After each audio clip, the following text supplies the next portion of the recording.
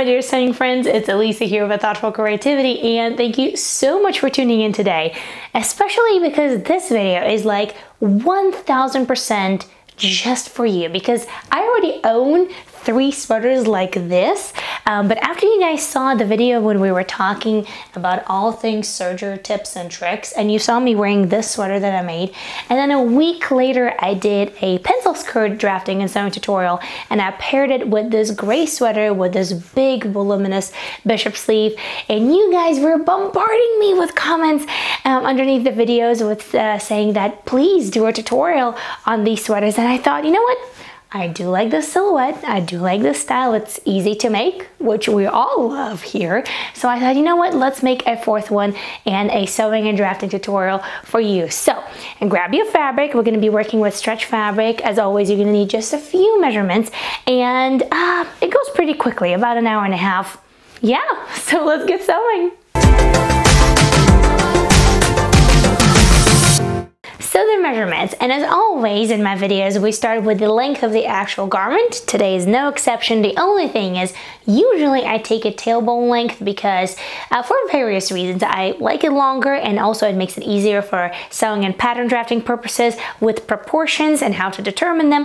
But today, we don't really need this many proportions and I'm going to take it shorter because I just want it to be more form-fitting and fit onto the jacket for warmer months as well. So take your measuring tape and as always place it on the center back of your neckline on the very edge. Drop it as long as you want it and once you have dropped it to the length of your garment, place your finger on that spot, take it away and that's what we're going to put on your pattern paper.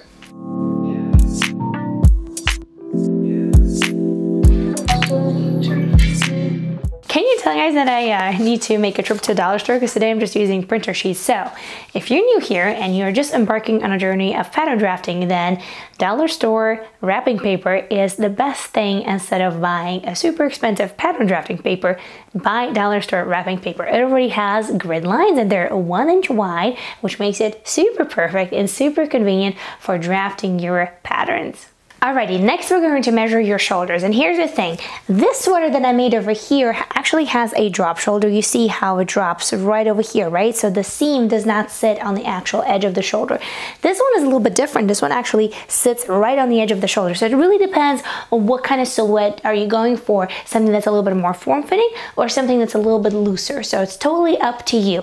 But the way you're gonna do it, and you can also cheat a little bit, you can take a t-shirt that fits you really well and you like where the shoulders sit and you can just measure your t-shirt. Why not? But usually what I do is and doesn't have to be super precise you just take your measuring tape place it like so and just make sure that the edge of the uh, measuring tape is right here where you want your shoulders to end and take it away fold it in half and for me that's going to be seven inches. But what we're going to do is we're going to add one extra little step. We're going to add one inch to the half measurement of your shoulders. So my half measurement is seven inches, plus one is going to be eight, and that's what's gonna go on our pattern paper. So next up is the neckline. And for the neckline, I always take those two standard measurements for me. And for you guys, you can take whatever you would like. However, remember these two things. Number one, neckline is one of the easiest things to adjust on the pattern. Of course, depends on what kind of neckline, but this one is a really simple standard neckline. So better start conservative, so make it smaller because you can always cut it away and you can't add the fabric back on. And remember that there's also going to be a neckband added to it as well, which will add an inch to the, to the overall neckline. So three and a half inches to the right and two and a half inches for the depth of my neckline. And then from the edge of your neckline, you're gonna take one inch up, and then from the edge of your shoulder line, you're gonna take one inch down. And you're gonna connect those two points with the straight line. And that will accommodate the curve of your shoulder because our shoulders are not straight, they're usually on the angle, right? After that, with a dashed line marking your front neckline, you can always mark it as F for the front and then mark your back neckline as well. And you can abbreviate as B for the back as well. Now draw a straight line from the edge of the shoulder all the way to the bottom of the pattern and then finish the hem. Now let's talk about the sleeves and the sleeves is kind of the whole beauty of this pattern, right? So this little element over here, that's what we would like to make today. Now I usually start with a short sleeve first, just because it's a little bit easier to connect a short sleeve to the bodice and then I transform that short sleeve into whatever sleeve you want to make, including the bishop sleeve. Now here it is very important to mention that this is not a traditional way of drafting a sleeve. It will give you a little extra volume over over here. Doesn't bother me. If it does bother you, you're more than welcome to draft it the traditional by the book method. This one is easier and goes faster and I like the results. So I hope you will enjoy it as well. So what you're gonna do is you're gonna take your measuring tape and you do want to measure how wide you would like it to be, right? So measure that and then you will measure the length of your sleeve as well. So we're gonna start with a short sleeve. So I'm gonna take seven by seven, which makes a square. So let's get that drafted and let's get going on connecting those two. Now take your sleeve rectangle and align it together with the bodice piece, overlapping it by one inch and making sure that the sleeve goes under the same angle as the shoulder line.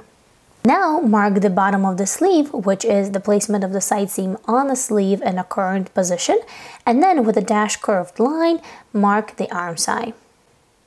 Repeat this dashed curved line on both on the sleeve and on the bodice. If you need more space in the bust area, you can always add it to the side seam right underneath the sleeve, just like so. Now, curve in the bottom of the sleeve by about quarter of an inch for a more flattering shape overall. Now, if you are a member of this channel, then go ahead and write down all of your measurements into the measurement chart of your instruction sheet, which is a perk that you guys get for being a member of this channel, which is a paid function. So if you want to check it out, there's a join button next to subscribe button, and it will give you like a little trailer and a little overview of what, what kind of perks do you get. So I'm not going to really get into that right now. I'm sure you've heard me talk about it before. So if you want to check it out, go ahead and click the join button, and it will tell you everything that you guys need. Um, let's get back into the sewing and drafting now. To turn the short sleeve into a bishop sleeve, first we need to extend the length. Now, take the length of a normal long sleeve for you and add 3 inches. And then draw that length on your pattern paper. And for me, that's going to be 22 inches altogether. For the width of your sleeve, I'm going to take a regular width of my wrist plus 3 inches as well. And for me, that's going to be 8 inches all together. Now with the dash curved line, finish the pattern of the sleeve. And please note that this is a very straightforward, very simple way of drafting a bishop sleeve for knit fabrics. Not by the book at all, but it really does work well for me. As you have heard, I've made four sweaters like this already and it always turns out really nice. Alrighty, since the main pattern pieces are ready, let's cut them out here. I have the bodice and the sleeve, and let's get going on our fabric. So what I have here is some beautiful stretch fabric that I got from Fabric Mart some, uh, well, I don't know, many, many months ago, to be honest. And this is, let's take a look. This is a, a gray pale gray black cotton lycra space dyed stretch jersey knit. $14.99 no that actually wasn't the price. I uh, got it on sale because $14.99 would be too expensive for me for a yard of fabric Place your fabric right sides together, put your pattern on top, and let's cut the fabric. Now please remember that I draft all of my patterns without seam allowances, so you will need to add them now as you're cutting your fabric. As well as the hem, I have added 2 inches to the bottom of the pattern, well because I haven't decided yet what I'm going to do with the bottom of the pattern, whether I'm going to just hem it or maybe add a band to the bottom. So we shall see by the end of this video. So cut your pattern pieces. Now that you have your pattern pieces cut out, you should have the front and the back and two sleeves. So let's start with the bodice. Take your back and take your front, place them right sides together and match the shoulder seams. And then pin them in place and let's sew them together. You can use a sewing machine or a serger, whatever you have at home. Just remember to use a stretch stitch for your stretch fabrics as well as an appropriate needle for your jerseys and your stretch knits. Once the shoulder seams are done, now go ahead and take your sleeves, place them on a fold and mark the center of the sleeve with a pin needle. Then take your bodice, place it with the right side down and open it and lay it flat. Then take your sleeve and match the shoulder seam with the center of the sleeve, right sides facing to each other. And then pin the sleeve to the bodice using pin needles and then use your sewing machine or a serger to attach the sleeve. Peace.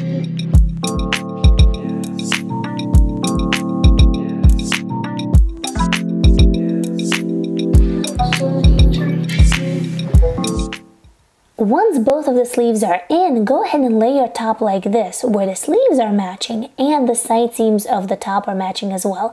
And then what you're going to do is you will do a stitch from the bottom of the sleeve all the way around to the underarm seam and then all the way down to the hem of the top. You will repeat this on both sides of the top. Now, if you're using your serger for this project and you would like to know more about little tips and tricks on how to use your serger, let's say more efficiently, and just, uh, you know, some little secrets on how to nest the seams or how to tuck the seams in, then I actually did a full video on serger tips, and I will leave it for you guys in the info box below. So if you want, check it out. Now go ahead and measure your wrist and take the full measurement. So for me, that's going to be seven inches. Make sure that it's pretty comfortable and it's not too tight or not too loose. And then determine how tall you want your cuff to be. For me, that's going to be three inches on a fold. So the full measurement is going to be six inches. Go ahead and put those on the pattern paper and draft a cuff. After that, Cut two pieces on a fold, make sure that the stretch goes in the right direction, and then sew the side seams of your cuffs. After you've done that, go ahead and turn them right sides out and fold them so that way you'll get a nice little cuff like this. Now let's gather your sleeve and turn it into a fun bishop sleeve. Take your sleeve and on the very edge of the sleeve use a basting stitch which is basically your longest straight stitch and do it all the way around. Just make sure that you don't secure the threads because we will need them to pull on them in order to cinch the actual sleeve all together. So if you're using a serger, this step you will need to complete on a sewing machine. Now once that is done, take one of the threads and pull on them. You will see that your sleeve will start to gather. Now continue this step until you have the same size of the sleeve as of the cuff. So you want to make sure that they both match because guess what? the next step is we will need to attach the cuff to the sleeve. Place the cuff inside of the sleeve, right sides facing, and then make sure that the seams match so that way your cuff is looking down and your sleeve is looking down as well. And then you just sew it all together and this is how it looks when the cuff and the sleeve is all done. And it was quite a fiddly process so I did not manage to film it but it's pretty straightforward. You just sew it all together. Now let's talk about the hem of our top. And I have decided that I'm going to go for a band on the bottom. And this is also a great option for those who are using a sewing machine because it does not require you to do any hem of a zigzag stitch or a twin needle or anything else like that. Doing a band on the bottom is always a little bit easier. And I am just going to eyeball it. So I'm going to cut it two and a half inches shorter and then the width of my top and the uh, actual band is going to be three inches wide which is going to give me an inch and a half on the fold. Then you will sew the side seam of our band. You will fold it in half, match it with the side seams of our top, and then sew it in place. Easy as that. Yes, your band is smaller than your actual top, so you will need to stretch the band in place as you're sewing it all together. And this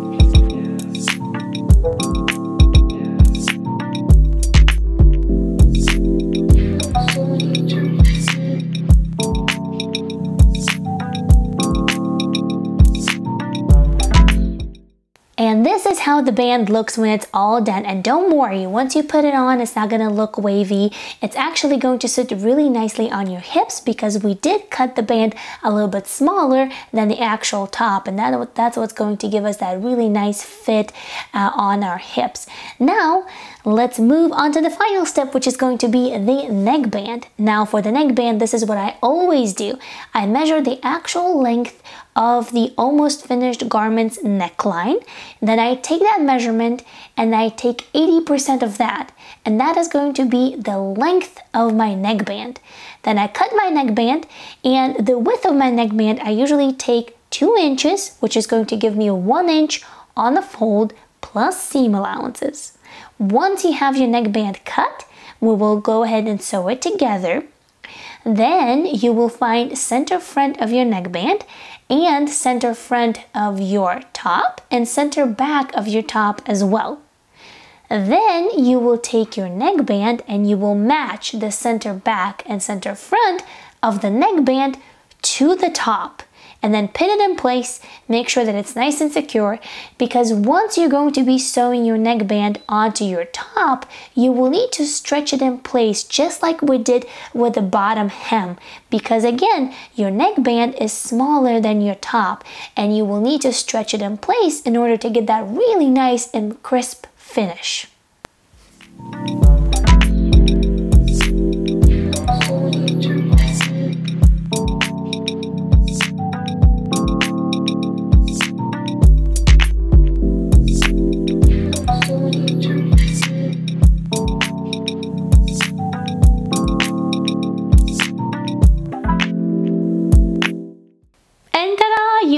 Beautiful bishop sleeve sweater or sweatshirt or top or whatever you want to call it. The point is that you made it with confidence and now you can make many other beautiful things with just your two hands and your beautiful mind and just a little bit of thoughtful creativity. So guys, I'll see you in the next video. If you haven't seen other drafting and sewing tutorials, then go ahead and check them out. I'll link them somewhere right over here on the screen. Have fun, have a wonderful day, and I'll see you in the next one. Bye!